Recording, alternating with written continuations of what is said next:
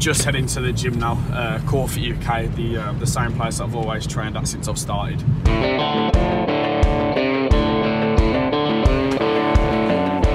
I'm fighting Chang Buak Jetsada on the 7th of March on the MTGP Wolverhampton show. It's going to be a tough one, but um, yeah, I'm more than, more than confident for this.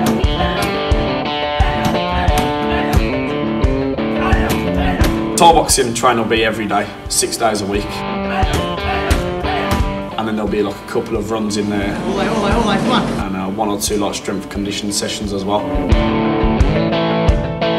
Yeah, massively confident for this fight. Definitely think I've got the tools to win this fight. And then also to win the MTGP world title. Probably one of the most, um, the, the highest like accolades of a world title around. So to win their title, I think it'd be, it'd be huge for me and could really push push me on to bigger fights. I had my first fight, I think, after about three months. I was holding an interclub at, at Corfit, and then I just jumped straight into that. And then uh, a couple months after that, then had my um, had my first fight, had my first junior fight.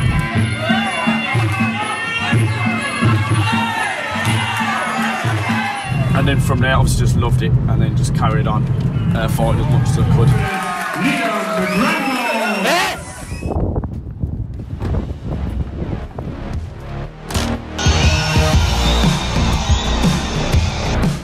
Won my first ever pro title wearing knee shorts.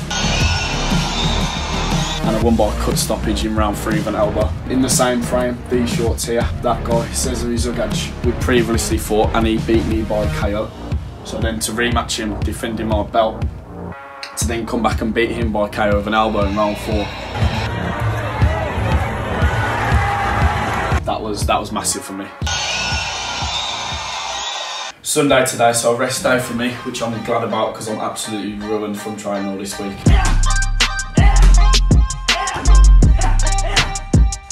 It's nice to have a day off doing nothing. We even had um, George Muzakitis come over Friday, who's also fighting on the um, on the same card as me, and he's got um, probably his biggest test of that as well against Craig Coakley.